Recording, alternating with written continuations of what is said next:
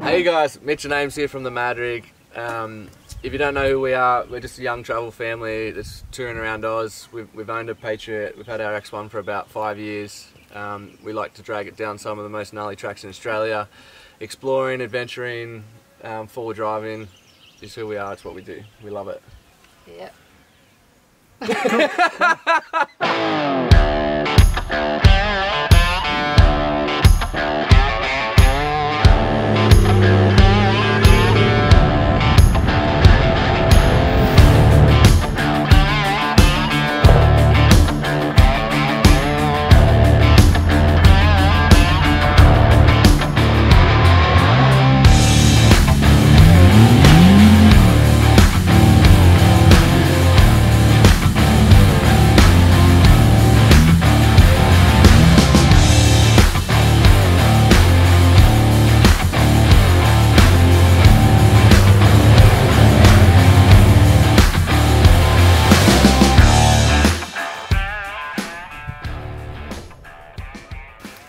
it's Mitch and Ames from...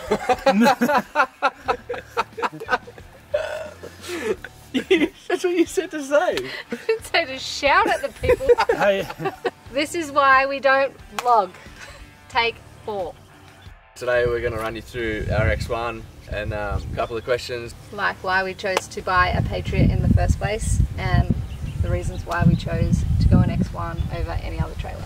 To start off, I reckon like number one, the main reason we bought a Patriot was because we just wanted something small and compact, um, lightweight that would follow us anywhere we went. Like back then we were chasing some pretty hard tracks and um, I actually swore we'd never tow a trailer. But Yeah. um, Look at this now. when, when rides came along and we had a heap more gear to carry, it was kind of a no-brainer that we had to go that way. And yeah, the, the Patriot was sort of the only thing that ticked all the boxes and still to this day I've never had to unhitch the trailer when we get ourselves into a sticky situation. It's never held us back from any of the tracks that we've we've not, tackled. Not once. Yeah, Literally not once have you unhitched. yeah, it's been awesome. Yeah. And also the Patriot brand, I reckon, Yeah, was a big reason why we chose. Australia, that way. Australian made, Yeah. good quality, just to Yeah. rip a little trailer. Where did we hear about Patriot? Well, that's probably a good thing to don't touch on. Instagram. Um, No, because Instagram wasn't that big back when we bought the trailer. Yeah, we were watching videos when they first came out. I think it might have been YouTube. YouTube, probably, yeah.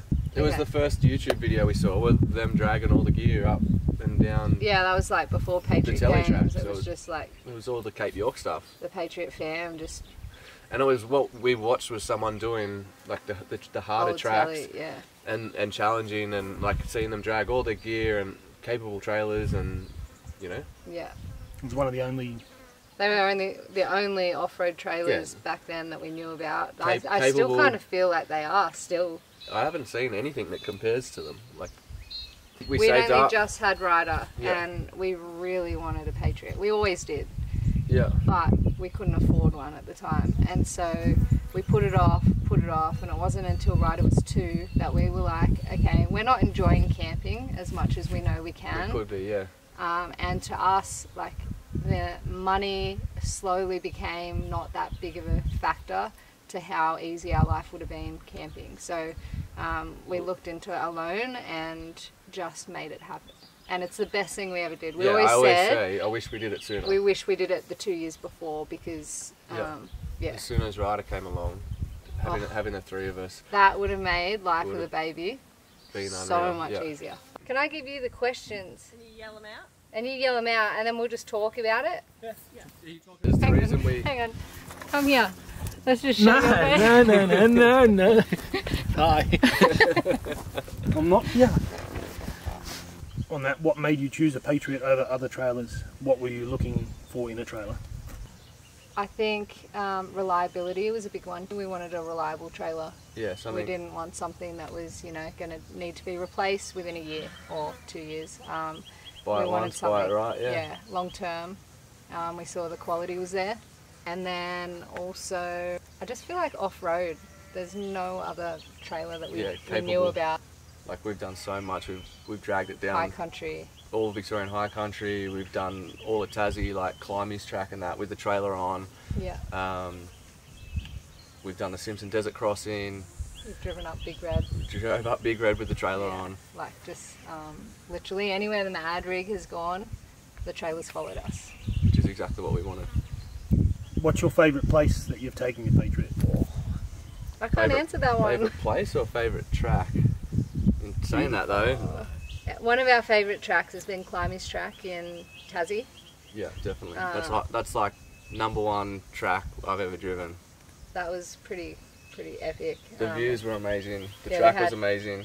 ocean on one side, mountains on the other, and it was just this epic four drive track the whole way across, and had some cool Yeah, it obstacles. best. And yeah, wasn't too hard. wasn't too easy. It was perfect. Yeah. In saying that though, just that it, this is it. it would be so like picking climbers it would be too hard to pick one. Like the amount of places that we've gone, and the, the ground that we've covered, the places we've camped. Like we've had the, the trailer, the whole setup camped on the edge of the ocean, Dude, we've had beaches, mountain tops, bush camps. river crossings, bush Ev- camps. everywhere. How many um, nights would you have done? Oh, that's a tough one. I Roughly reckon roughly Well, how many nights is in six months on the road? 180. So I reckon double it. yeah, I reckon we've done a full year. I, I'd call it 500 nights. I reckon we've spent 500. 180, double it, 500. 190. No, and some. 180 times two is not 500. Yeah, I understand that, but it's and then add some more. It's not Did you just build a car? you built a Simple whole car arithmetic. I do maths, all right. Just some simple Okay. maths. around a full year. I reckon every single night. for a Maths with full an year, F. I'm good at maths. at least. Yeah, I reckon at least a full year. so 300. So how many nights would you, days. 65. how, how many nights you reckon you've done on a Nights. Patriot? 360 odd, you reckon? Yeah, I reckon 400. 400. 400. 400 nights. You're Um, funny. And do you find the X1 hard to set up and pack up? No, No, hell no. it's an absolute breeze, and we both we have our jobs. we have our jobs, and like we can, I can have you in rides in bed. Justin was pretty impressed with our Yeah, that was and that was sick. Yeah. Um, We can have you in rides in bed in like two minutes. I like how you say rides and I. What do you do after? I go and have a few beers. Yeah. No, if we pull in late somewhere and it's just a basic setup, it's like a couple of minutes and we're, we're in bed. Yeah, we're in It's bed. perfect. All the bedding's still in there, and, And then even when we are staying somewhere for like a couple of days and we're doing a full setup, it's only like a 10, 15 minute setup at max. yeah, And how would that compare to how you've camped in the past? oh, majorly. It used to take us what 30, 45 minutes. Yeah, well, we've had a few different setups before the trailer, which were.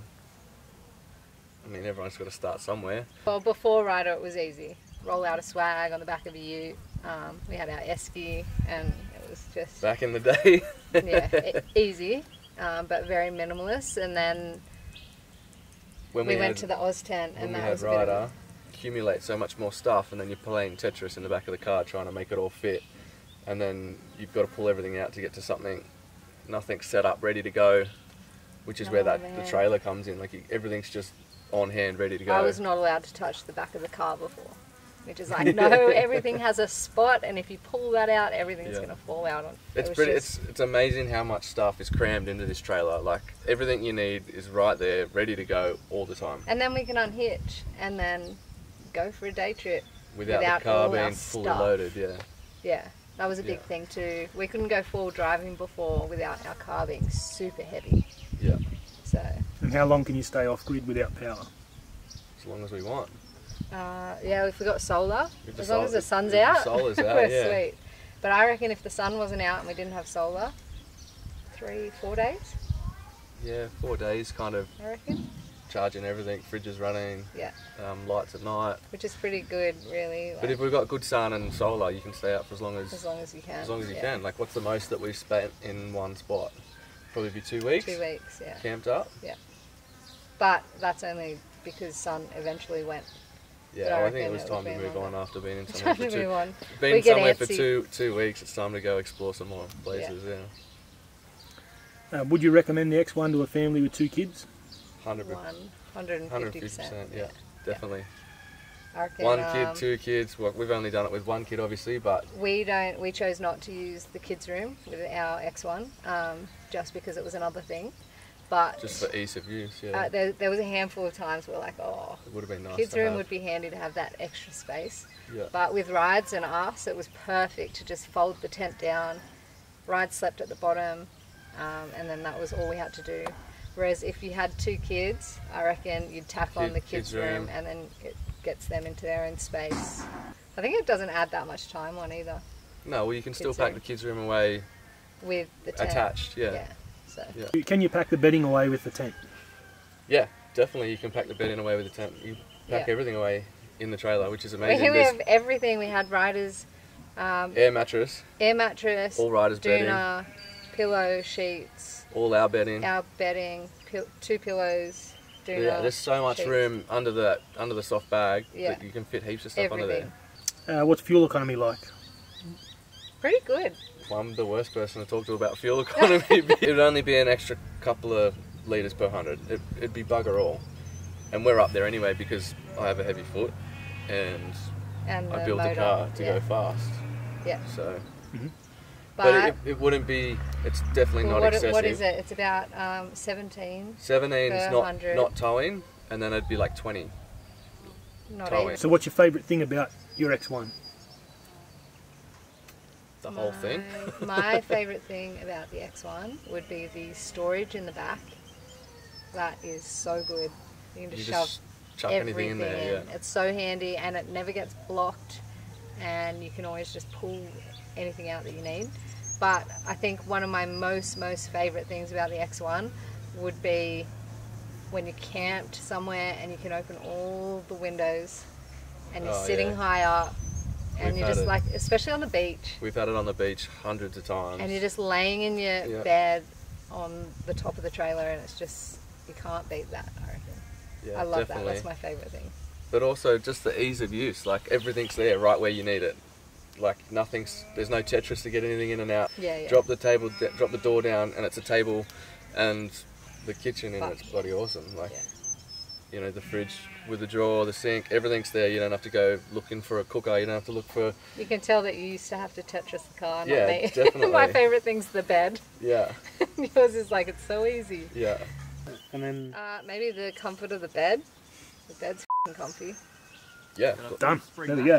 The, the, like, Dan's nailed it. literally, The bed's huge. We- it's, it's massive. Like we have rides sometimes when we couldn't be stuffed setting up his sleep airbed, sideways. and we three of us are up in there. The bed is huge. Have you ever come close to rolling your trailer or taking your trailer down, tra- down tracks you probably shouldn't have? Definitely. But we we push the far limits. out. Considering what we take that thing down Yeah. and the way you drive it, I'm I, it blows me hasn't away. rolled. Every single time that we get this thing off road, it blows me away. There's two occasions I can think of when we were down at Bruny Island and we were going down the dirt road, and um, Oh, I think it's because the ABS on the car the ABS up. on the car locked And it up whipped the and it whipped the trailer. Like that was so close to rolling, and somehow Mitch managed to maneuver it back, but it didn't flip. Jake came was watching close. that. He was following us watching. Yeah, and then the only other time was uh, like it wasn't really a roll, but on that Lithgow four-wheel drive track, we came like like that close No, you know the one to time hitting. there's there's footage. You can probably throw it in, but it was going down climbs, and I stopped the car, and we were like, "Oh, look at that!" And it was like Oh, cars actually, doing yeah, that, trailers doing one. that. Yeah, yeah, yeah. It's the first time you've seen the mirror. Yeah, You've seen I- the awning yeah, in that seen mirror. the awning in my mirror, and I was like, "Oh, that's meant to be on that Yeah. side." Yeah, so three Yeah. occasions, but Yeah, in saying that though. we were always uh, only that one we weren't in control, but that was a road thing. So yeah, but, But that's why we, rolled that's why we, we have not, we have not rolled. the never trailer. rolled a trailer. Touch wood. Where's some wood? But that's exactly why we That's bought grass. it. We bought it to follow us. we bought it to follow us down the hardest tracks we could find, and that's our sort of style of adventure and our camping and the way we like to do stuff. So we'll always be out there pushing the limits and and trying to get where you know the places that people can't get to. just the the stability of the trailer is just they've done it so well. Yeah, there's been, oh, there's been a couple of times too actually, which is super handy having the airbags because you'd be on this crazy angle and just recently we've stopped and got out Oh, and aired up, aired up one side of the trailer to bring it up. Yeah, because there was this rock overhanging, and like it just was going to hit it if we kept going forward. Yeah. So we aired down you the jumped, other side. You jumped out, aired down one side, aired up, and it just straightened the trailer up, and we came through. Worked perfectly. Yeah, awesome. Teamwork. Um, last one would be touring versus hardcore tracks. What's it perform best in? Um, both, Both. the same. Yeah, both. Touring or hardcore tracks, like it's much of a muchness. It's built think for both. I think we used to go and chase the hardcore tracks because that was sort of where we were at the- at the time, like five years ago. But I think now that we've sort of I don't know, that's slowed down a little bit, and we're just really slowing down and getting into more touring stuff, Yeah. and um, just exploring all of the country. Yeah.